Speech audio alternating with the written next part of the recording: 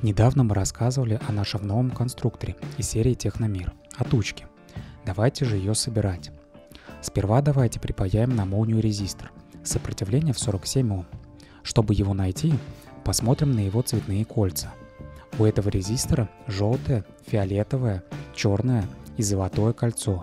Сгибаем выводы, вставляем на отведенное для него место и припаиваем. Резисторы полярности не имеют, так что можно вставлять их на плату любой стороной. Откусываем выводы, не забывая придерживать их, чтобы они не отлетели в сторону и ни в кого не попали. Шаг второй. Припаиваем на молнию светодиоды с прозрачным корпусом. И вот здесь внимательно. Светодиоды уже имеют полярность. Длинный вывод у них – это плюс. Плюс также указан на плате. Совмещаем их и вставляем до упора. Загибаем лапки и припаиваем. После чего откусываем выводы.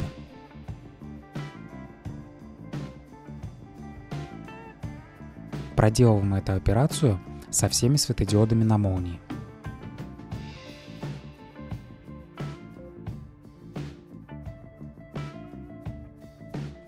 Шаг третий.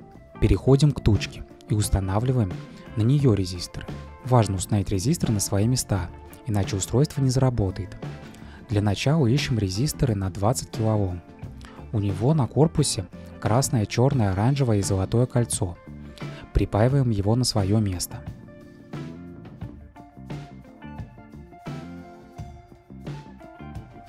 Далее резистор на 10 кОм. У него на корпусе коричневое, черное, оранжевое и золотое кольцо. Припаиваем. У нас осталось три одинаковых резистора на 47 Ом с желтым, фиолетовым, черным и золотым кольцом.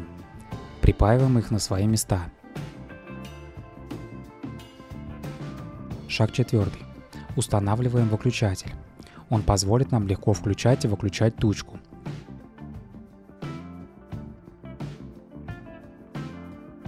Далее ставим кнопку. С ее помощью мы сможем выбирать режимы работы. Шаг пятый.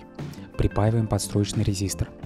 Благодаря ему мы сможем настроить уровень освещения, при котором включится тучка. Шаг шестой. Припаиваем гребенку. Она устанавливается в плату стороной с короткими выводами. Шаг седьмой. Припаяйте фоторезистор. Фоторезистор не имеет полярности, так что устанавливаем его любой стороной. Фоторезистор меняет свое сопротивление в зависимости от уровня освещения – именно с его помощью контроллер сможет определить, насколько темно в комнате. Шаг 8. Припаиваем конденсатор. Для того, чтобы определить его полярность, посмотрим на боковую сторону. У одного из выводов можно увидеть обозначение минуса. Отлично. Минус мы нашли, значит второй вывод это плюс. Устанавливаем конденсатор в плату, соблюдая полярность.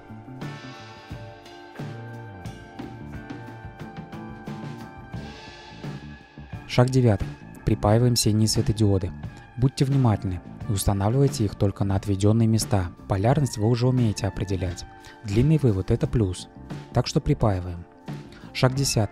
Устанавливаем панельку для микросхемы. Обратите внимание на вот эту выемку. Она называется ключ. Ключ на панельке и его изображение на плате должны совпадать. После того, как все проверили, припаиваем. Шаг 11. Припаиваем отсек для батарейки.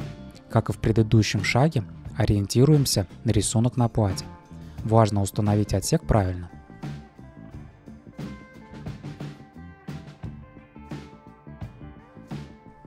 Шаг 12. Устанавливаем микросхему. Она просто вставляется в панельку. Главное совместить ключ на панельке с ключом микросхемы. Вставляем до упора.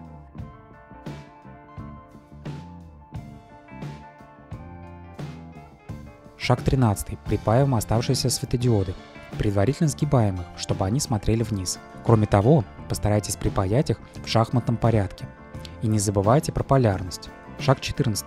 Удалите пленку с динамика, после чего приклейте его на предназначенное для его места. Красный провод – это плюс. Припаиваем его к соответствующему контакту. После этого припаиваем минус.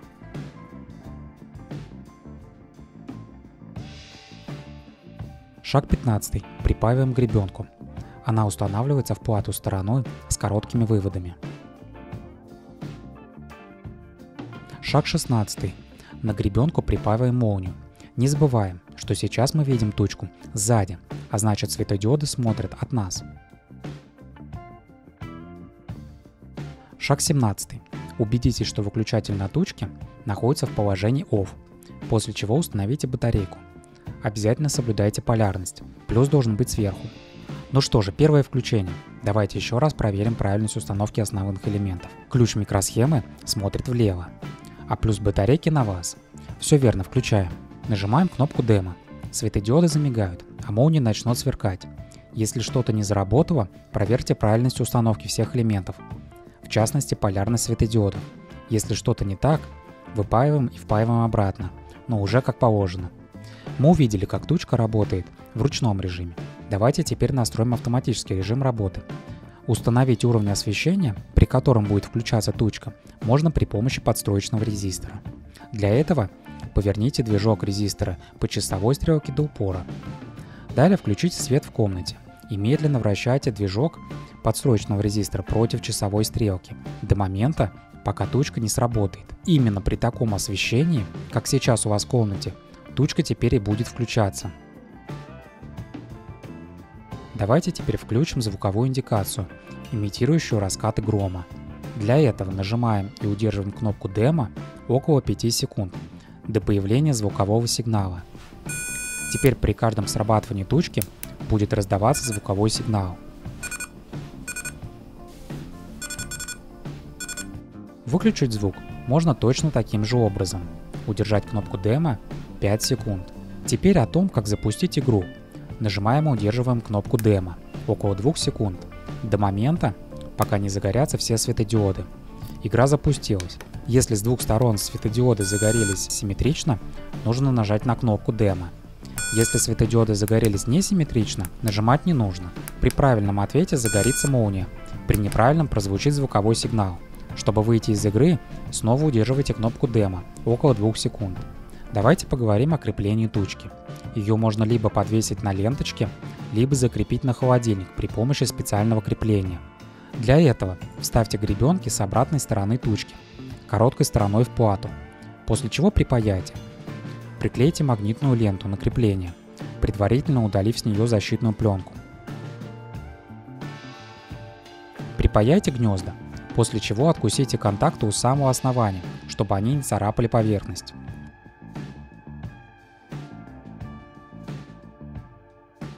Магнит должен выступать над контактами. Теперь просто вставляем крепление в колодки и все, можно крепить на холодильник. Кстати, если вы знакомы со средой программирования Arduino IDE, вы можете перепрограммировать тучку и самостоятельно писать программу, по которой она будет работать. Это не обязательно для данного набора. Скорее даже эта информация для самостоятельного изучения. У нас на сайте есть статья, в которой описано, как можно перепрограммировать тучку. Также вы найдете принципиальную схему и прочие полезные материалы, которые вам помогут. У нас есть еще множество наборов по пайке. Переходите на наш сайт yarduino.ru и выбирайте те, которые вам больше всего понравятся. А на сегодня у нас все. Скоро увидимся.